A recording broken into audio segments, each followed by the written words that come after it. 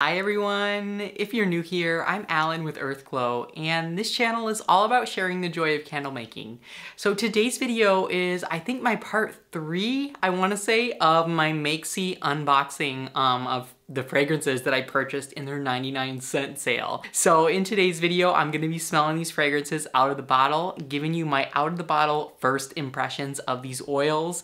And um, if you are new here, this channel is all about sharing the joy of candle making. Fragrance videos um, are my absolute favorite to film. But anyways, let's get right into today's video and I hope that you enjoy.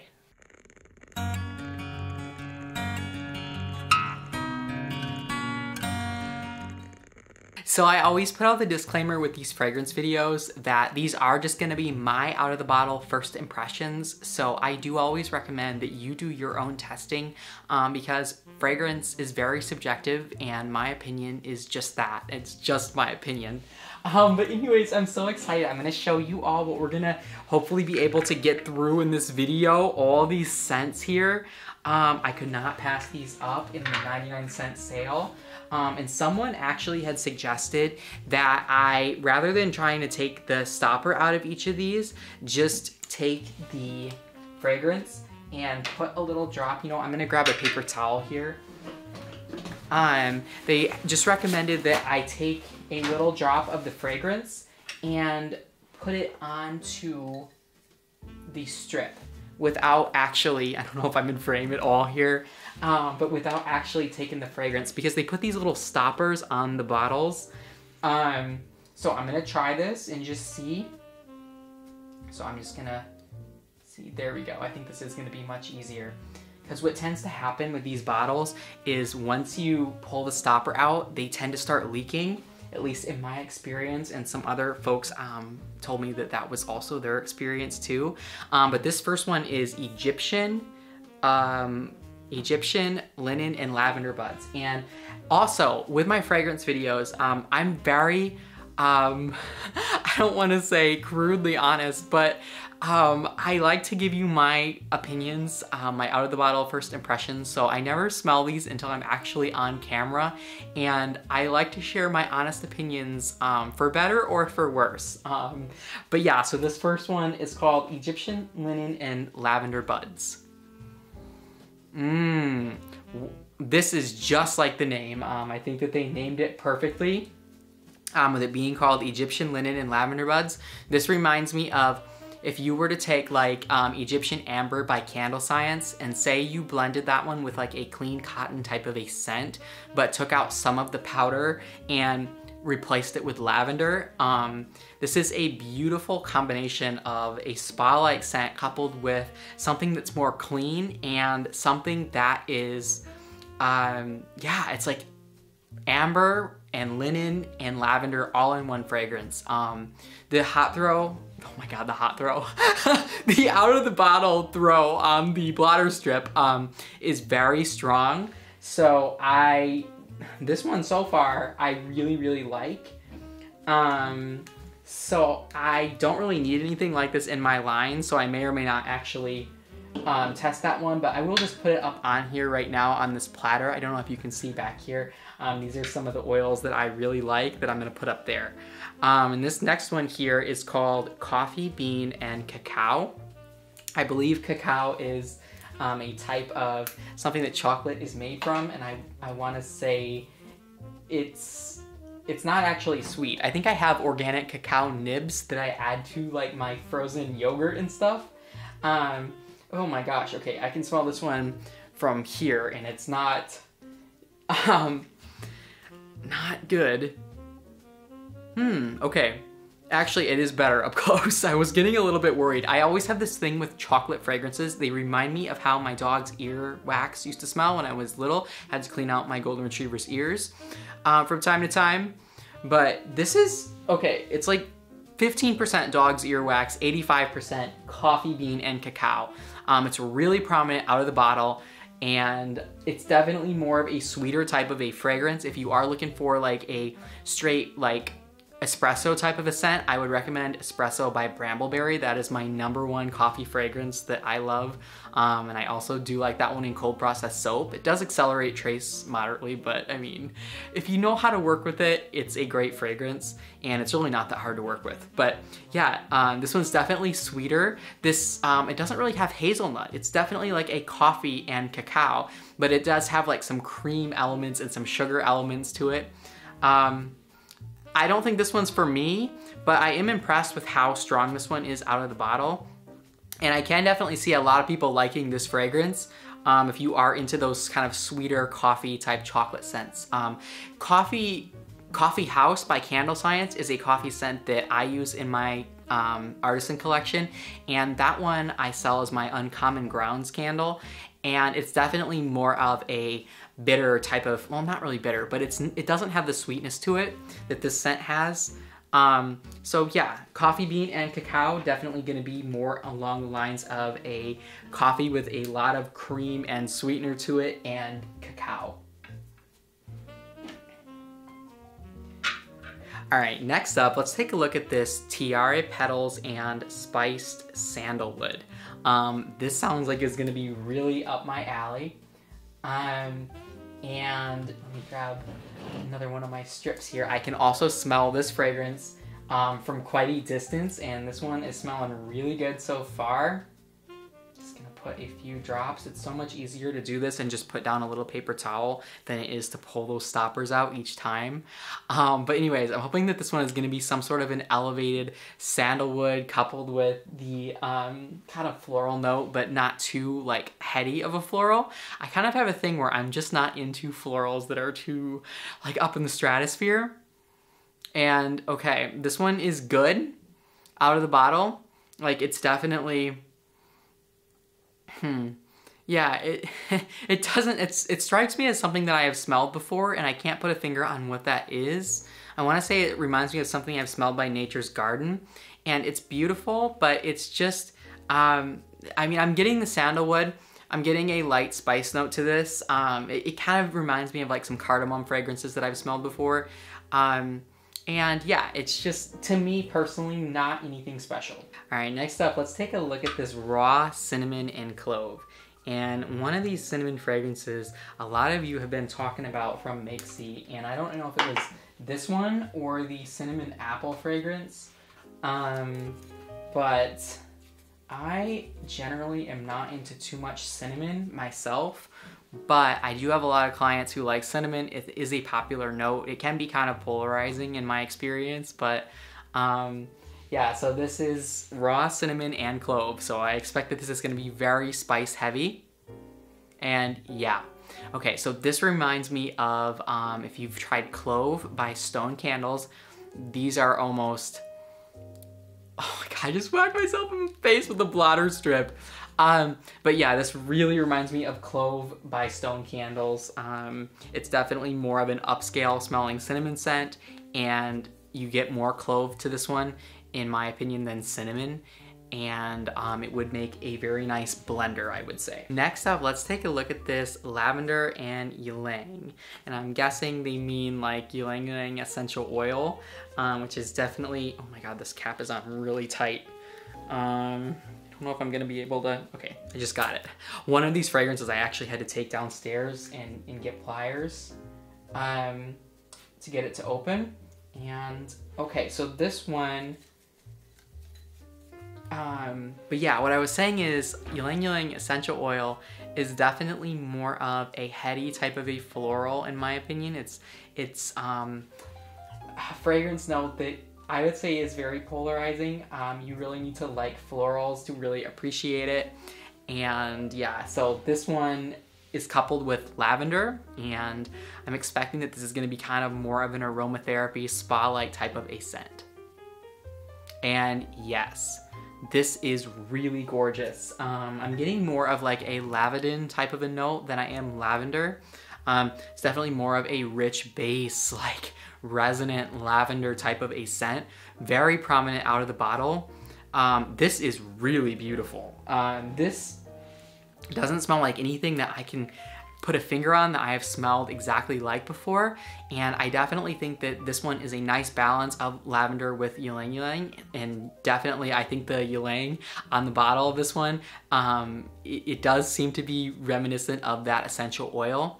And like with a lot of Makesy's fragrances, I do get a strong essential oil component to this one, but it does seem very inspired to me. I'm definitely getting that with the French lavender.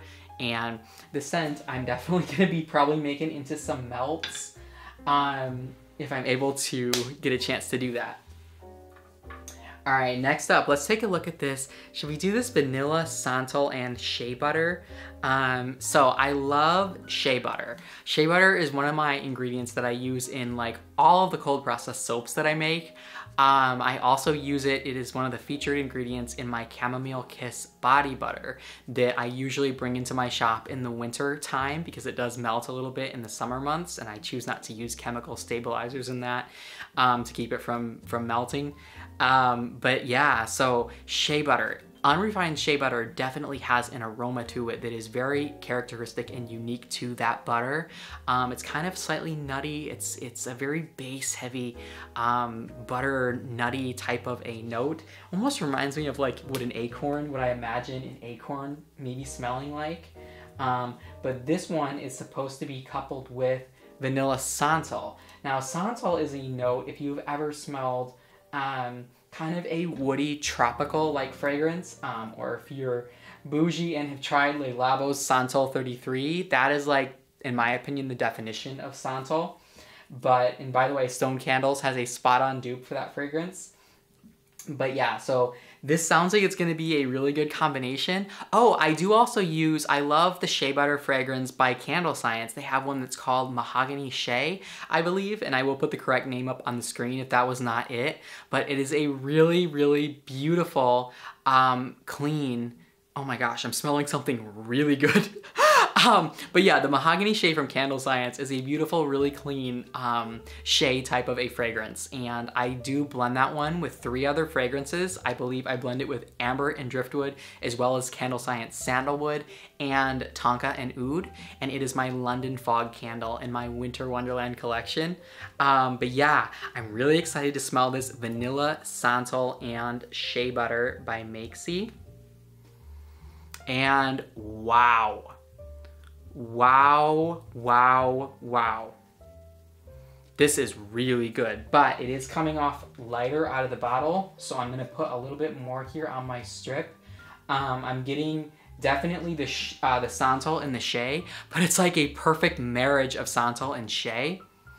Um, wow, this smells like something that West Elm would be featuring. Um, it's it's maybe even more bougie smelling to me than West Elm. Um, this is a really gorgeous, it's like a vanilla bean. It's not a sweet vanilla or a very vanilla. It's definitely more like a vanilla bean. And you do get the santal and the shea butter, but you don't get that kind of muddy quality to the shea butter.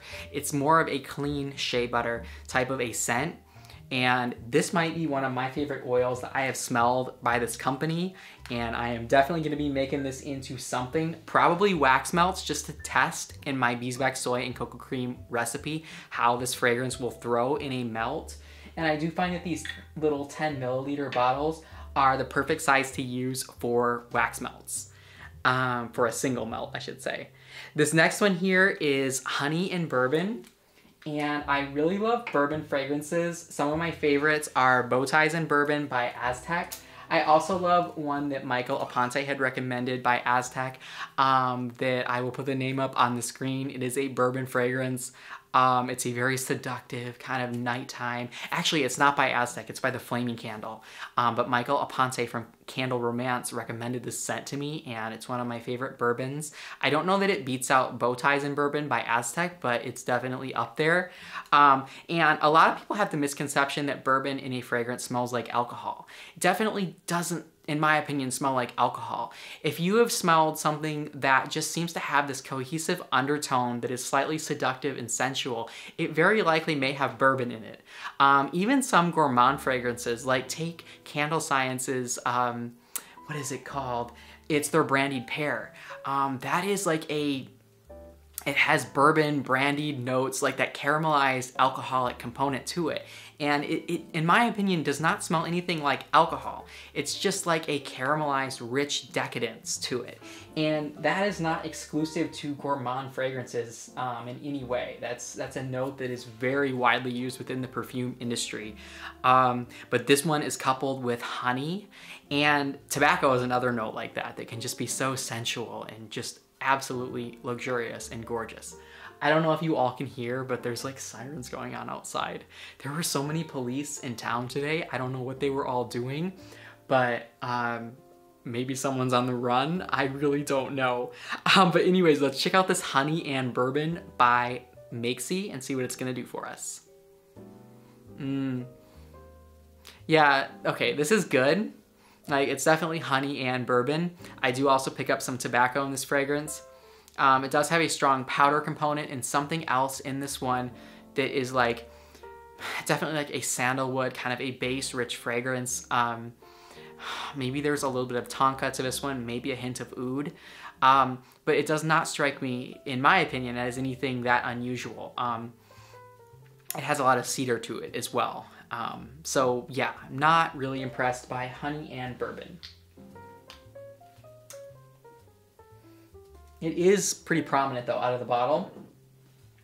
Okay, next up, let's take a look at this Bluebells and Cucumber. Now, this fragrance really intrigued me online by the name of it and I'm excited to see what this one is gonna be. I've been looking for a good cucumber fragrance. I had tried um, Cucumber Water and Melon by Candle Science. It was in my spa collection as my floating lotus candle, and it did sell for me, but definitely not too well. Like if, if to use Jeff Stanley's analogy, if you were to take that one to a farmer's market, you might sell four out of 10. Whereas um, I'm looking for like a cucumber and melon, kind of like Bath and Body Works, where it is just a showstopper fragrance and one that I can use in maybe a facial cold process soap.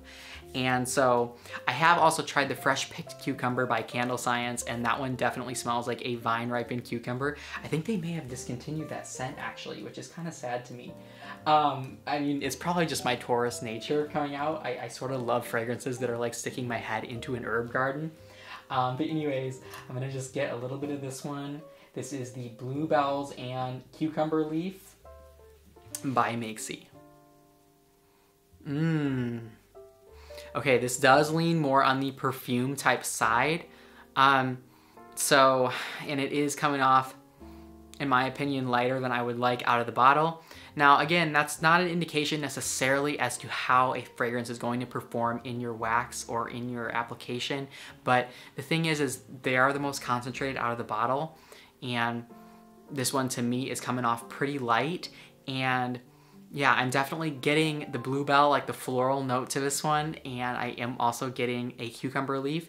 I do really like this fragrance. I think that it's very well done and inspired. I am just wishing that this one were a little bit stronger out of the bottle and maybe a little bit more of like a um, a little bit less of a floral component and a little bit more on the cucumber. I would say this one is probably like 60-40, like 60% cucumber, 40% bluebell, um, but it's a beautiful fragrance.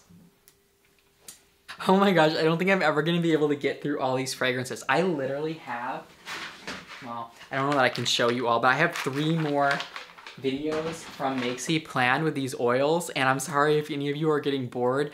I just felt like since I bought all these oils, I might as well share them with everyone on camera. So if you are getting bored of my fragrance hauls from Makesy, just let me know and if enough of you don't like me doing these hauls, I will stop.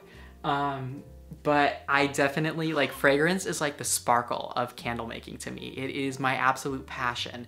As I've mentioned to a lot of you before, I grew up in the Bath and Body Works and Yankee Candle stores and I just adore fragrance. Um, it's always been a big part of my life with my mom and her passion for candles, um, Yankee candles growing up. Um, but anyways, I hope I'm not boring you all too much because I'm definitely having a lot of fun doing this. Uh, but this next one is Pecan Martini and Muscovado Sugar. And this name is very intriguing. I love everything about Makesy's branding. So, and wow, I can definitely smell something out of the bottle here. Oh, but I forgot to mention too, that these hauls from Makesy, I am kind of holding to a really, really high standard because a lot of these fragrances are going to be double, if not triple or even quadruple of a lot of companies. So they are marketing these along the lines of more like Stone Candles. Well, Stone Candles actually has a really good candle makers wholesale discount, um, but more along the lines of 1617, um, Brambleberry. Uh, they're definitely a more luxury price point. So I'm expecting um, to absolutely love the fragrance or I would not um, purchase it for the price point. But yeah, this next one is called Pecan Martini and Muscovado Sugar, and let's see what it's gonna do for us. Hmm. Okay, this definitely smells like some of their maple chai and sweet cream, but this one's definitely more sweet. I would prefer out of the bottle and um, I did make the maple chai and sweet cream into wax melts um, and it, it, was sweeter in the melts than it was out of the bottle. So this one's definitely sweeter out of the bottle but along the same but along the same lines of the maple chai and sweet cream. And I am just not too much of a fan of this um, it's just too sweet for me personally. Okay, next let's take a look at this apple, rind, and cinnamon. And I think this was the scent that some of you were telling me about, like, oh Alan, you need to try this out, this apple and cinnamon from Makesy. There's just a lot of people that are really passionate about this scent. Um, my apple cinnamon of choice is gonna be the Apple Harvest by Candle Science because I am not into too much cinnamon. Um, I know the Flaming Candle does make a pretty similar one as well. Um, but yeah, I, I, cinnamon very easily overpowers things and I am just kind of sensitive to that. I don't know if any of you are like me as well. I, I do prefer uh, spice notes like cardamom, even clove, but cinnamon is just one that I'm more sensitive to. So apple rind and cinnamon. And wow. Okay, so this fragrance, ladies and gentlemen, right here, if you are like me and you are not too into the cinnamons, uh, this is one that I would recommend checking out because I get a very strong McIntosh apple note to this, but there is a slight amount of cinnamon and a very, very slight, like almost a shockingly slight amount of cinnamon to this fragrance um, that's kind of in the backdrop. But if they were to just call this McIntosh apple or apple harvest, um, it's more like an apple harvest type of a scent. It's not like a straight McIntosh apple.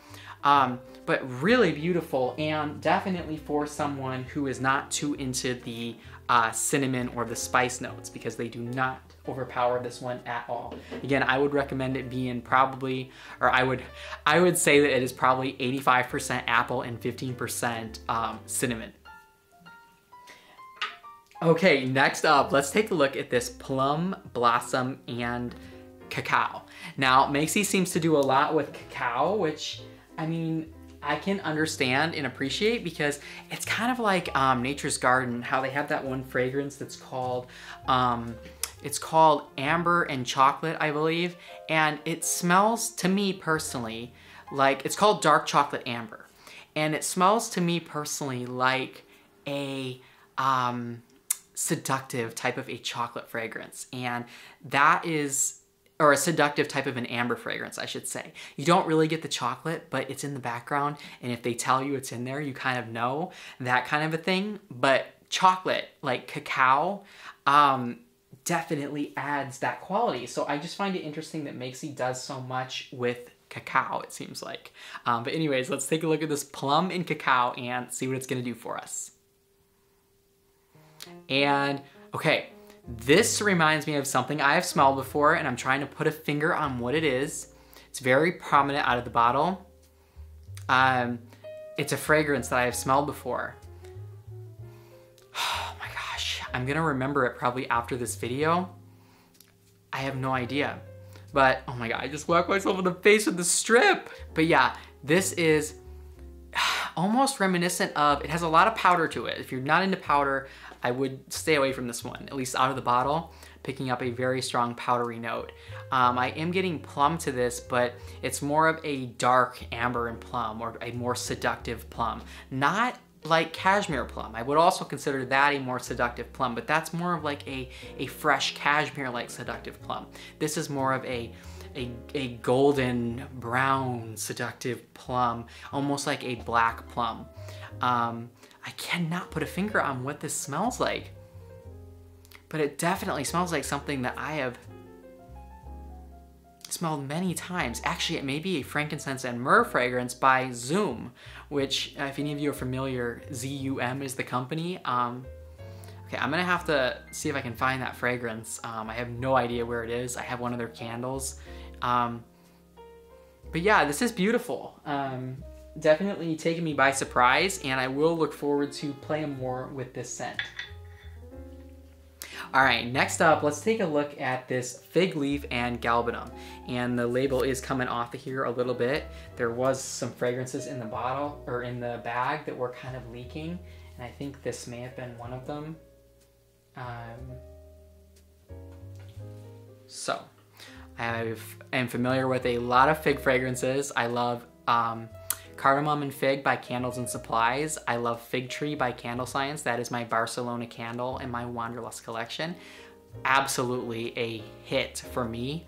Um, I also love Fig Figuier by Stone Candles. I use that one in a 50-50 with Cassis by Stone Candles, and it is my Antalya candle in my Wanderlust collection.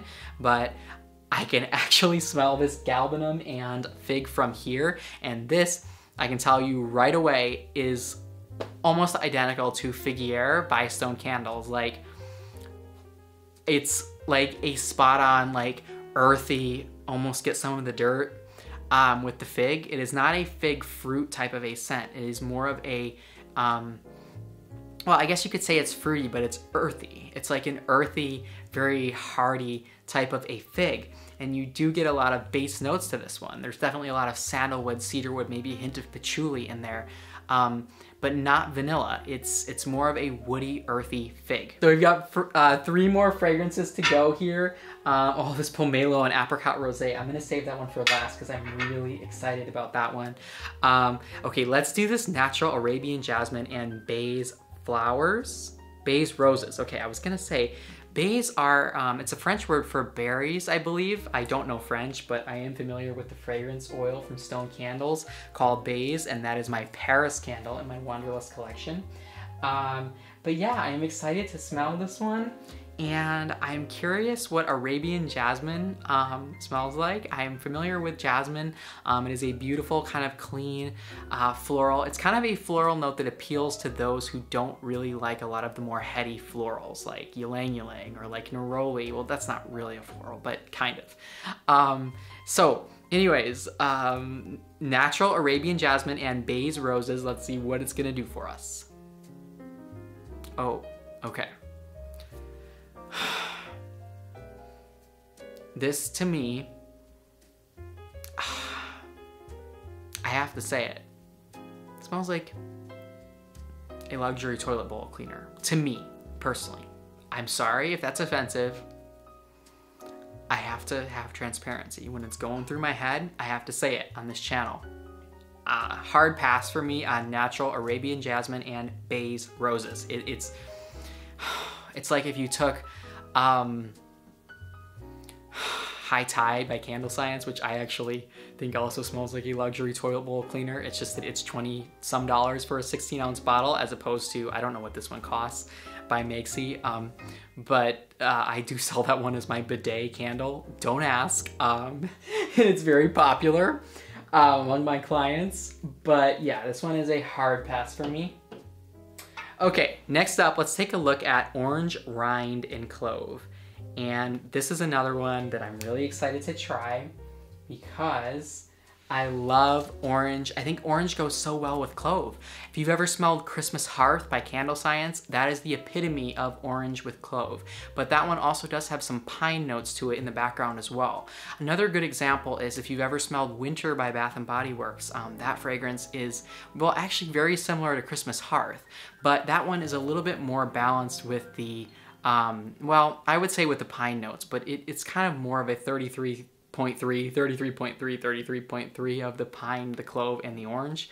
Um, whereas the other one that I was mentioning, um, the Christmas Hearth by Candle Science, is more of the orange and the clove. Now, I'm expecting this fragrance from Makesy to have more of an essential oil component to it um, with the orange, since a lot of their fragrances are like that. I'm also very familiar with just mixing orange and essential oil form with clove in essential oil form. Um, that was actually one of my very first candles that I ever made with beeswax, um, mixing those two notes together. So I am interested how this orange rind in clove is gonna do for us. And yeah, Okay, so this definitely is more essential oil like, um, but it is more inspired than just the straight essential oils in my opinion.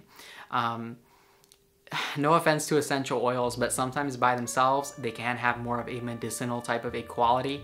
And with these fragrance oils, I'm looking for everything that I love about essential oils, but elevated and inspired in an artistic way.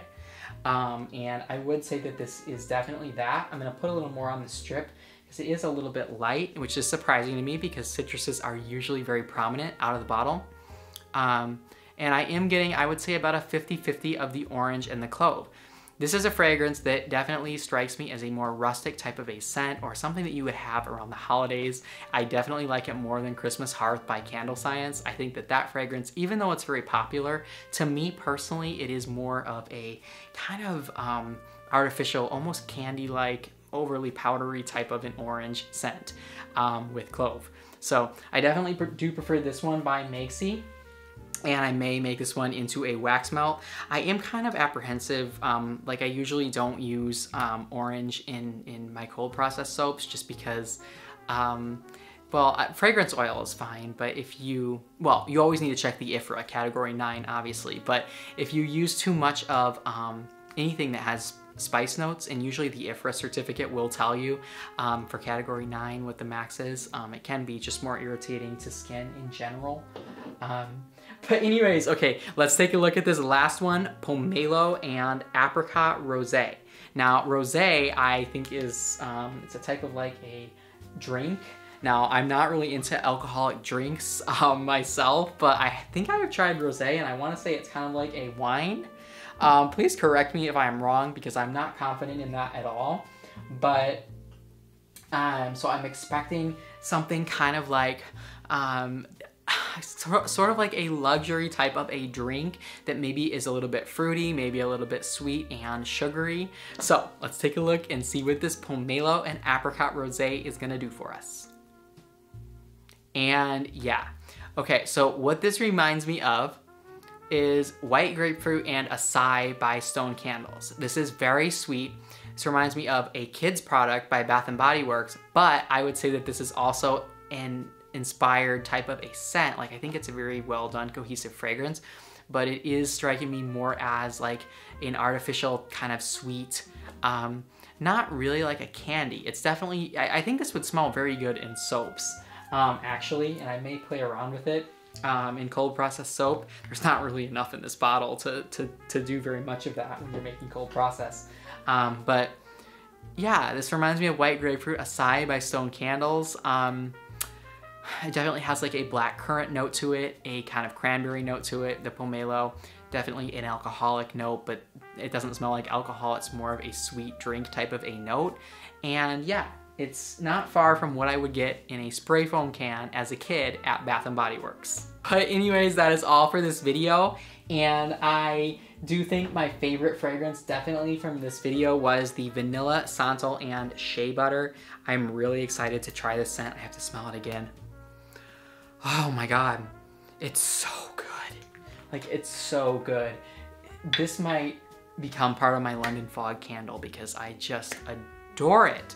Um, but anyways, I hope that you enjoyed this video. If you did, don't forget to give it a thumbs up and leave me a comment if you have tried any of these fragrances or which oils from Makesy you enjoy. I did notice that they have this new thing now that is called Luxury for Less and um, I am excited that they're, you know, really, you know, listening to their customers. I know they did raise a lot of prices recently, but it sounds like, you know, with that line, they are really listening to us and um, bringing the prices down on some things.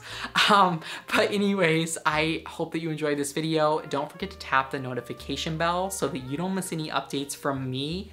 And I'm sending everyone peace, love, and light. And I'm wishing all of you happy candle making.